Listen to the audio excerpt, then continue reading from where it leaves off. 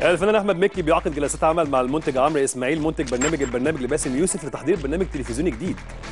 وكشفت مصادر إن البرنامج هيكون نفس فكرة برنامج عرض كبير واللي قدمه أكرم الشرقاوي من شهور كتير.